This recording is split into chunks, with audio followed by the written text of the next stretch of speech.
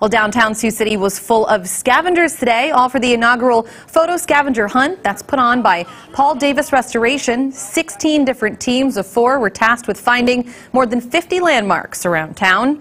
All proceeds from the event from the winning teams went to a local charity of their choice, with $2,500 for first place, 12,000, 1,200, excuse me, for second place.